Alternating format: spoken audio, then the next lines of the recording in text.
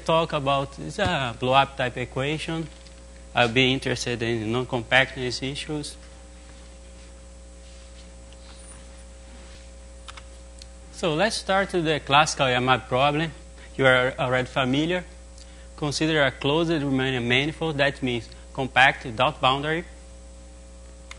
And the question proposed by Yamabe is there a, a Riemannian metric in the semi-conformal class of G which has constant scalar curvature? The answer will, be yes, due to four papers Yamabe himself, Trudinger, Aubin, and Schoen, 24 years later. This motivated, motivated the case of manifolds with boundary. Consider a compact manifold with boundary. And the question was proposed by Escobar. Is there a conformal scalar flat metric which has the boundary as a constant mean curvature hypersurface? It would be like this.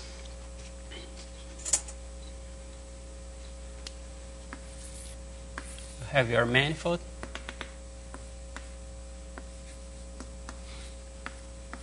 Compact. We're looking for a matrix. It has zero scalar curvature in the interior and on the boundary. The mean curvature constant. Right? This is the semi-conformal class. This is the metric we look for.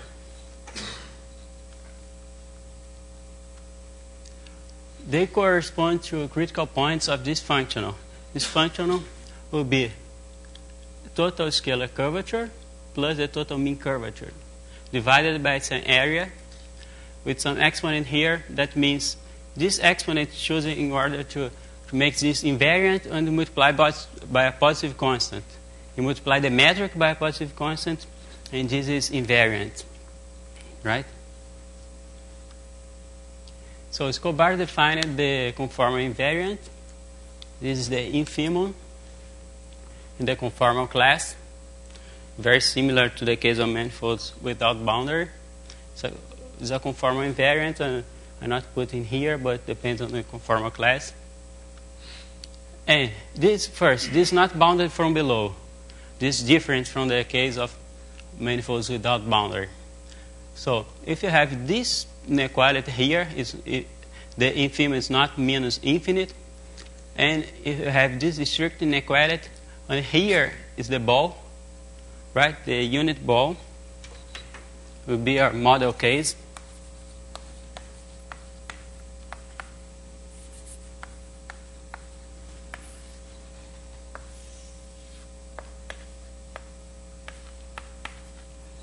So we are comparing with this. It's very similar to Aubin result, but we need the hypothesis, this one here. If, if you have the strict inequality, of course you have here minus or uh, less than or equal, we already have.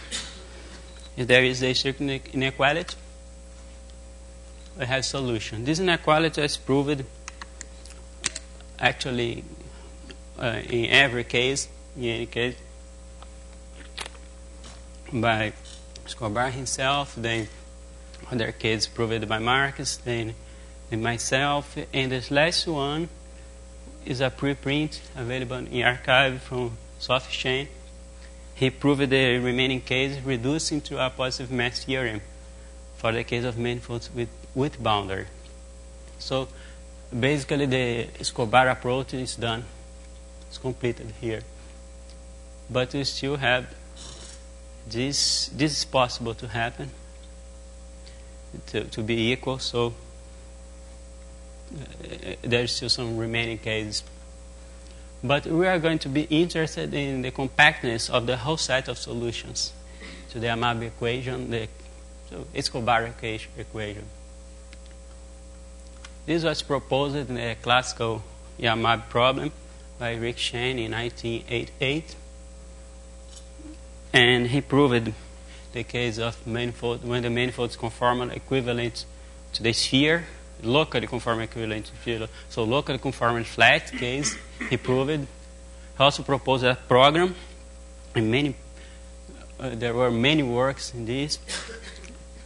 And the last, these last three papers completed the program, solved the general case. I'll talk about them just a few moments. But the case for manifolds with boundary, this is still open.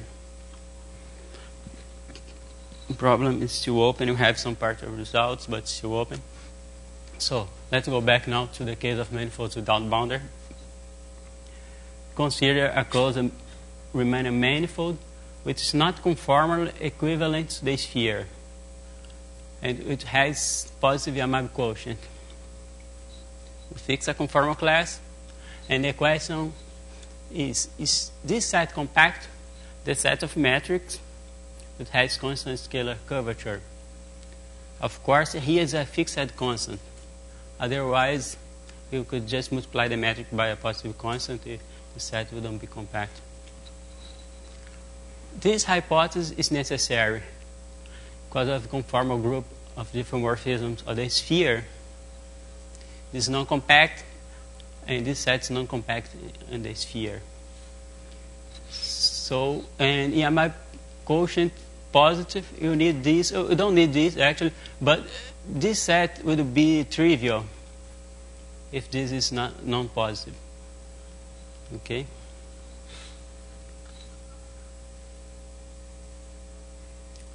So the first answer, a general answer, of course, uh, not the first answer, but uh, general result, and it was surprising at the, at the time. Compactness does not hold for does not hold for dimensions not less than 52. And then compactness holds up to dimension 24 by Khuri, Marques, and Schoen. The first one by Simon Brendle.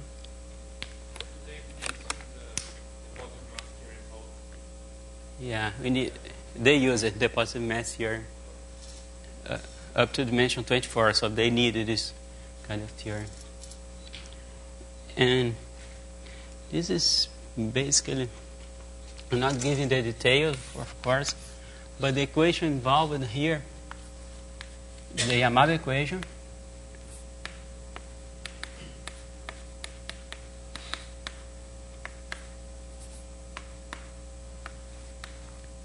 Here is the conformal Laplacian.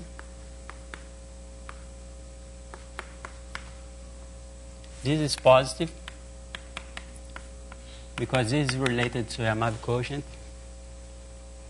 So what we look for is a positive constant that depends on the metric such that you have this uniform bound, uniform estimate. So for for for all u positive as above. Uh, solutions to the Yamabe equation, right? And Rick Chen also proposed a program based on a Pohozaev type identity.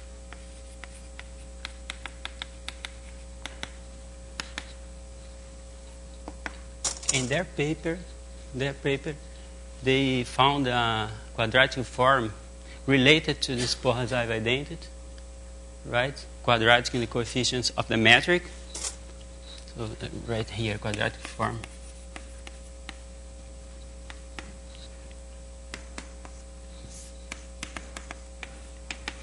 That that's positive definite in dimensions up to 24 and it has negative eigenvalues in dimensions greater than 24.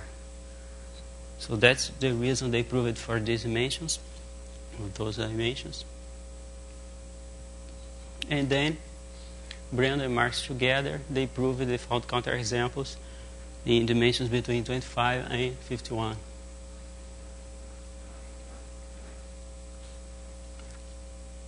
In the case of manifolds with boundary, consider manifold compact. Suppose M is not conformal equivalent to the ball, to the model case. and positive Yamabe quotient. And the, quest, the question consider the set of scalar flat, conformal scalar flat matrix which has the boundary as a constant mean curvature hypersurface. Is it the set compact? But here, again, a fixed constant, right? Just one constant. You can fix any positive constant you want. Positive because this is related to, to the Yamabe quotient. And if this is non-positive, this set will be trivial. Okay, if this is equal to zero, the set you just uh, you have just one solution unless you multiply by a positive constant. If it's negative, it's in fact uh, the, uh, there is a unique solution. So the first answer, the case of manifolds which are locally conforming flat, flat with umbilical boundary, this was proved by Veronica Felli and Mohamed Ahmedou. This case, uh, you see here, they looks like the sphere. It's locally conform equivalent to the sphere, but not globally. So it's similar to the to Rick Schoen's result. In dimension three, they don't need the hypothesis of M being locally conforming flat because the right tensor already vanishes. The third result would be a generic. Uh, if M satisfies a generic condition, the result is, is true. Generic conditions mean you consider a whole set of metrics and M satisfies the generic condition if it is a condition that's satisfied in an open and dense subset of the whole set of metrics. So if you just perturb the metric, you are satisfy the, the metric satisfies the generic condition. Right? So almost every manifold is compact. Uh, the, the this set is compact for almost every manifold, but it's not a general result. It's a generic result. This is the boundary trace. Uh, the boundary trace free second fundamental form is non-zero everywhere. That means the boundary is non-umbilic uh, everywhere. Uh, a natural conjecture would be there is a critical dimension such that compactness does not hold or hold in dimensions less than the critical one and does not hold dimensions greater than the critical one. So this natural to ask, to ask if this happens in the, in the case of manifolds without boundary. It's natural to ask if the, the same happens in the, in the case of manifolds with boundary. So our result would be consider n greater than or equal to 25. This would be a par partial result or a result for this. And there is a Riemannian metric on the unit ball in a sequence of pos positive solutions to the Yamabe equation. I would say Escobar equation because it's the the Yamabe type equation on the plane. This is the equation that relates conform. Here we have the Yamabe equation on the tier related conformal matrix of conformal matrix. Sorry, uh, scalar scalar curvatures of conformal matrix, right? And here mean curvatures of conformal matrix. And let me say just I forgot to say here the what what the metric will be look like will look like? Metric will look like this. Right? This is the equation that relates both metrics the scalar curvatures of both metrics you already know this. And here you have the same. So v that relates both metrics okay? here represents the mean curvature of the metric G tilde. So K is a positive constant because we uh, are interested in the case of positive Yamabe quotient and points inwards. And G is not conformally flat. That means this, this example is not conformal conformally equivalent to the ball because it's conformally flat. In particular, it's not conformally equivalent to the ball. So in fact, fact we are going to find counterexamples for compactness. Boundary is umbilic. And here you remember the functional applied to the metric, G2. It's less than the infimum. It's the conformal invariant of the ball. So the we call this the, the functional could could call it the energy. The energy is bounded from from above, and the supremo goes to infinite. That's that's important here. We're blowing up, right? How do you construct this this kind of examples? Right?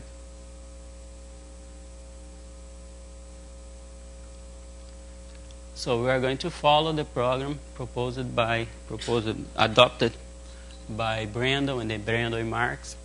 In the case of manifolds without boundary, the program consists in choosing appropriate finite dimensional space, find approximate solutions, actually kind of orthogonal to this finite dimensional space. I'll give details later, and solve finite dimensional problem. So I'll give you a brief idea on the proof. So consider this equation. This is, remember, I have this equation here.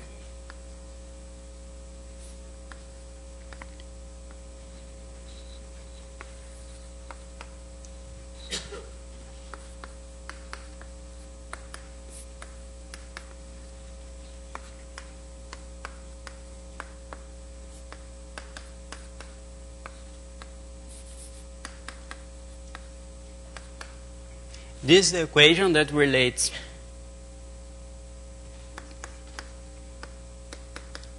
this is the equation we're interested, right? Here represents the the the mean curvature of the metric written like, like this. This actually is n minus 2 divided by 2.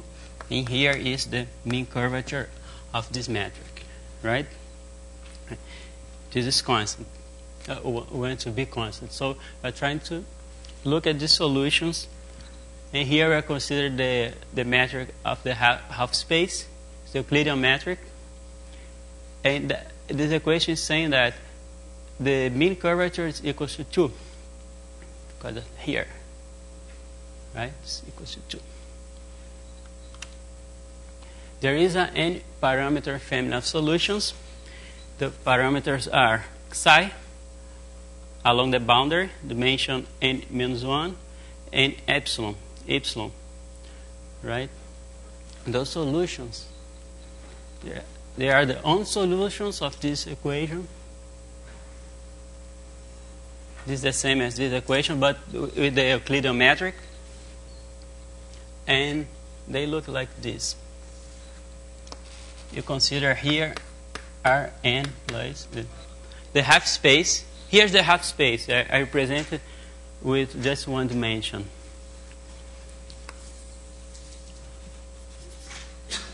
And consider psi 0, a point, right? That's actually in the boundary. And the solutions, they look like this.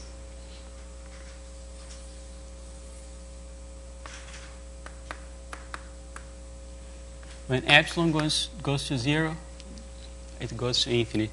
The solutions are concentrated in the, the point psi. This is going to be our model case in order to construct solutions. We're going to construct, uh, construct a family of solutions. Remember, we're, going to, we're looking for V, solution to this problem. So we start with solution to this problem, the Euclidean case and the half, spa, the half, the half space is conformal equivalent to the unit ball using U to relate the metric, right? So the ball here has constant uh, mean curvature equals to 2. So actually it's not the unit ball, it's the, the ball of radius 1 and half. 1 half. So since we are looking for metrics on the ball, that's the right kind of function to start the metric. Then consider uh, cons we're going to find to consider metrics like this: g equals to exponential of matrix, exponential of h. h is a, is a two tensor seen as a matrix here.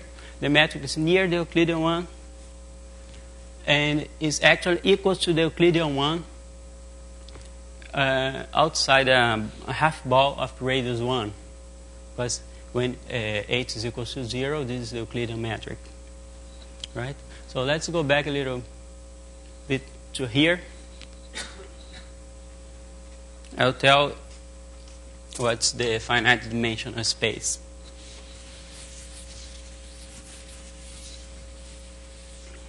Let's consider this family of, of fun functions. Consider this pair, like, like here, pair of uh, the n family of solutions, n parameter family, and there is this one parameter here. You go go from n from 1 to n. You consider this set. I'm not going to tell the expression for this metric but I just tell you that there are solutions to the linearized equation when you linearize this equation around this point. So take the derivative at this point, right? So it's a linear equation, and those represents the kernel of this of this uh, of the linearized equation. So they're related to the kernel. They're not exactly because they have some fact, factors multiplied by here. They, they are in the kernel except when you need to multiply by, by u. So have this space, you consider the orthogonal one that are functions on the half space, right?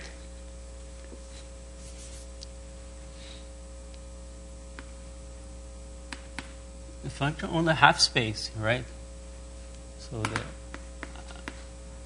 be more be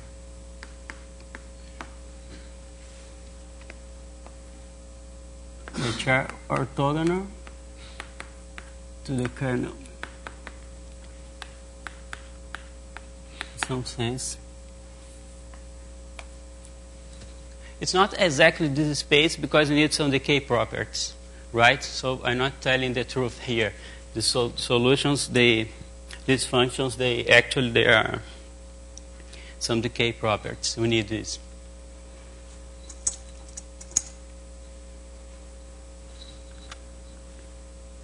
So I consider metrics that they are perturbation of the Euclidean metric. And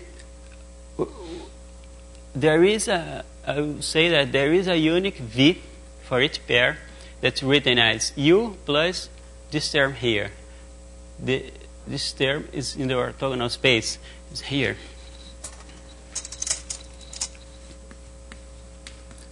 So there is a unique V satisfying these properties and the solutions to this equation. This is the Yamabe equation a weak formulation, but we are cons considering just as functions on the orthogonal space. Right? So it's not actually a solution. It's uh, an approximate solution in this sense. We are considering just as, as functions here. And why, why W is in the orthogonal space? This is in order to find these solutions, we had to invert the linearized operator at some point, we had to invert the linearized operator. So we need to be orthogonal to the kernel, right? To be more precise, uh, uh, to give a little more details, you put this right here and try to solve the equation, and you put the, the terms that are linear in W on one hand, on left hand side, and there are their terms on the right hand side. You have to solve something like this. And you, if you can invert the operator, you can use a fixed point theorem to find the solution. And you, you use the fact that the metric is near the Euclidean one. Because actually it's a linearized operator uh, of the Euclidean uh, of the Euclidean uh, Yamabe equation. So, but we are near the, the Euclidean case. So define this functional using V, right? This is the functional that's the analogous one uh, that that Brendle and Marques used. We have this one that's the analogous one for the case of for our case. And now, that's a proposition, not giving the proof.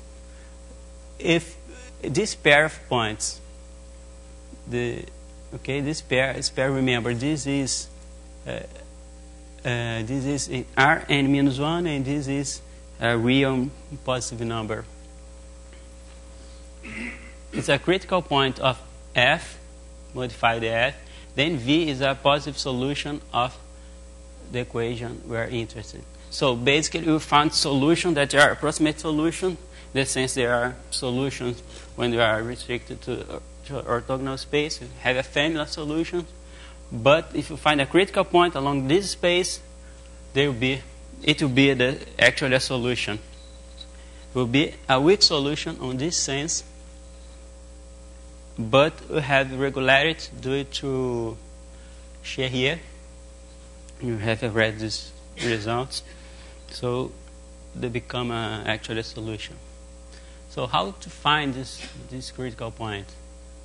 That's what we're going to, to talk a little bit.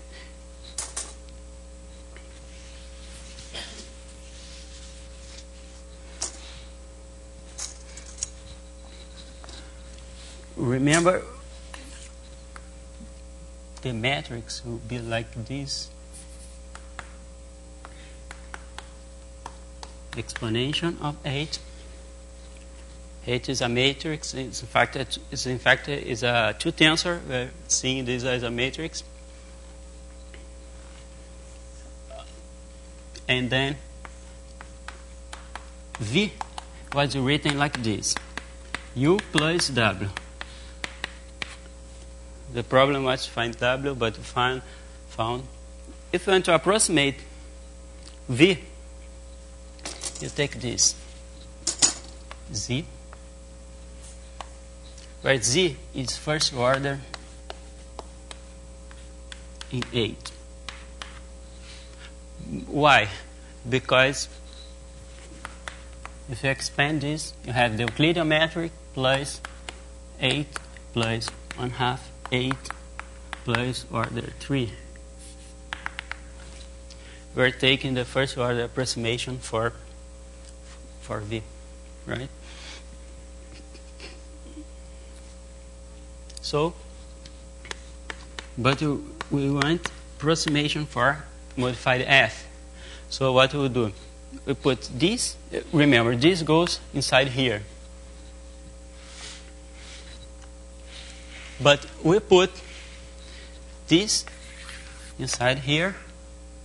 We collect the terms, we collect the terms that are of order 2. And we end up with an approximation for modified f. This approximation are the terms of order 2. Because the terms of, for, of order 1 and 0, here they cancel out. The order 3 you consider as error. So we just consider terms of order 2. To be more precise, the metric could look like this. Uh, the explanation of this. So here is a Weyl tensor type. It's a Weyl tensor type that this not these are constants. Here are, are the coordinates. So these are constants, but it has the symmetry of the Weyl tensor. This f is a polynomial. And, but you see, okay, a polynomial. You have to choose these coefficients. You have the freedom to choose. And a, a, sorry, i and d they vary from one to n minus one. So this does not depend on the x and coordinate, the last coordinate. Depends only on the boundary coordinates, right? In the Brendle and Marques, they used a very similar one that inspired me to use this. It is very similar, but in my case, uh, I put this. Uh, they are they are they just depend on the boundary coordinates. I tried some different things, but this one, the most simple one, that the one that worked. And see the expressions here, order one, you solve a linearized equation, so it had to be in the orthogonal space, like this. Z is in the orthogonal space. It's an approximation for W. Don't worry about the expression. And the expression for F would be like this order 2 here order 1 order 2 in x sorry order 2 in 8 so the metric I just just I'll just say that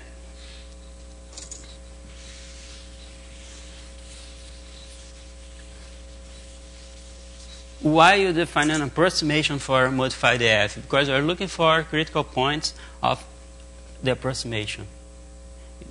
Because we don't have an expression for this, a precise expression. Because we don't have a precise expression for v, this one. But for this, we can have.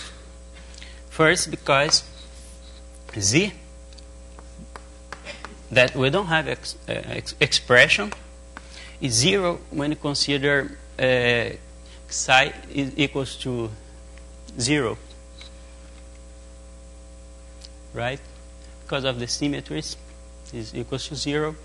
And if you derive f, the direction of psi, the point zero, one, then you, you're going to change the scale, is equals to zero by symmetry.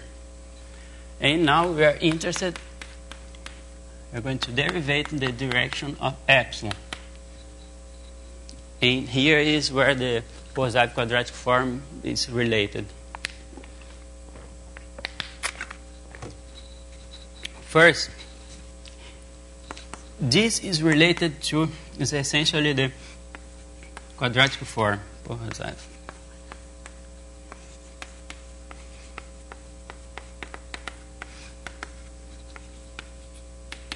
This is essentially the Pohozaev quadratic form.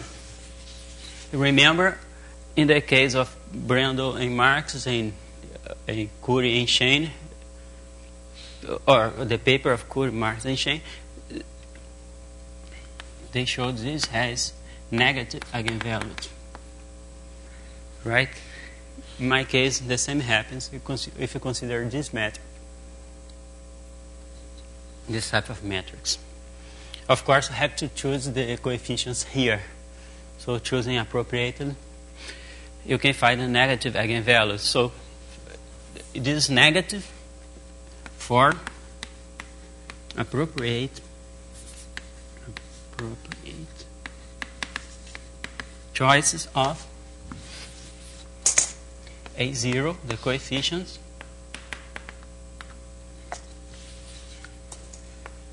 to AD. So this is quadratic in A0 to AD and choose appropriate ones and this is negative. Right? But if you take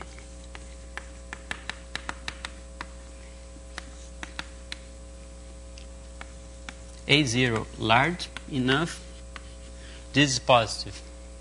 This is because the Pohozaev quadratic form, in my case, like the, the in the case of manifolds without boundary, this, is, uh, this quadratic form is positive definite when you consider homogeneous polynomials.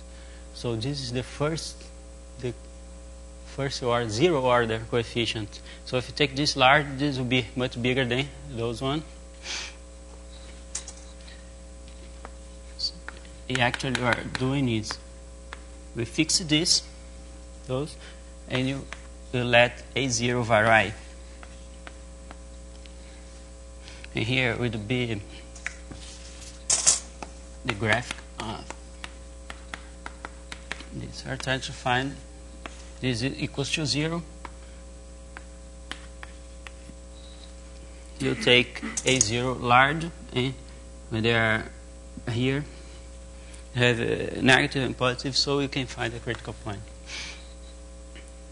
And actually, you can prove that this critical point is actually a minimum, a local minimum.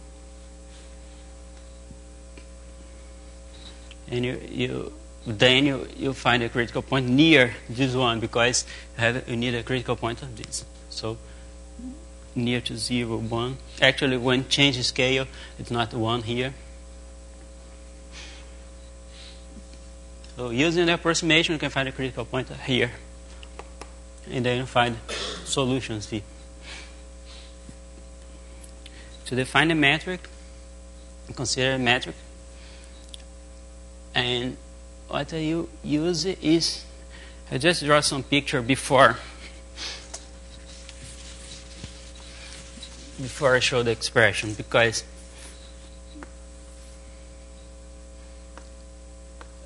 consider a sequence of points going to zero.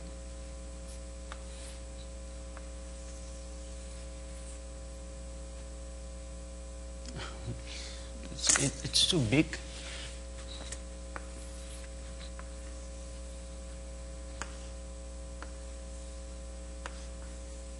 The centers of these, those disks are going to zero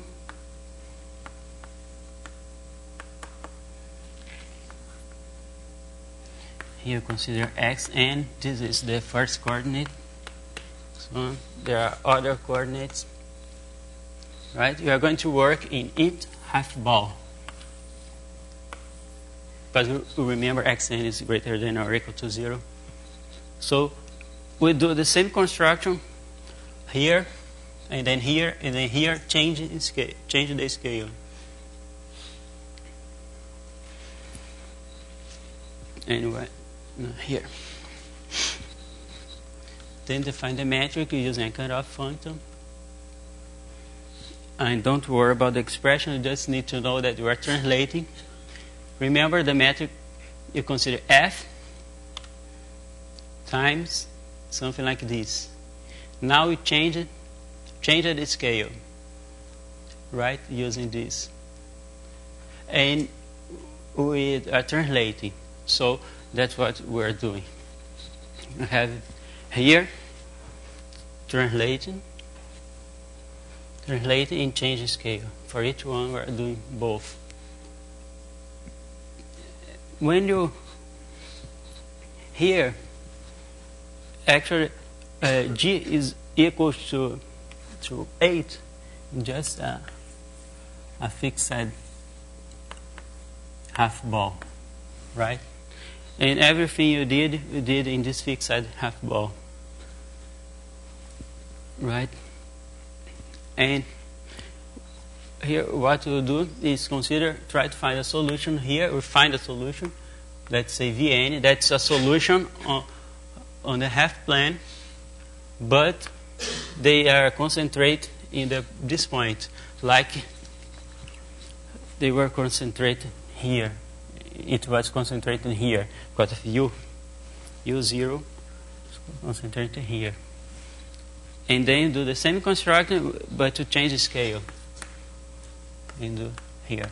The same thing. Right? The metric is fixed, but find V concentrated here. Another solution that concentrates here.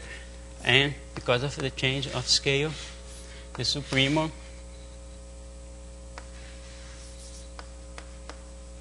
of Vn go to infinite. Here consider, let's say, Gn the disk. Prima the boundary goes to infinite. That's the, the solution. And is well defined.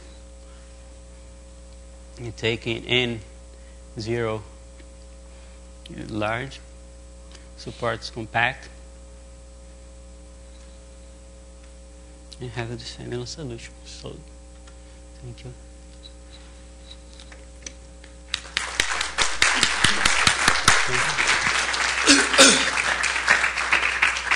Thank you. So, any question or comment?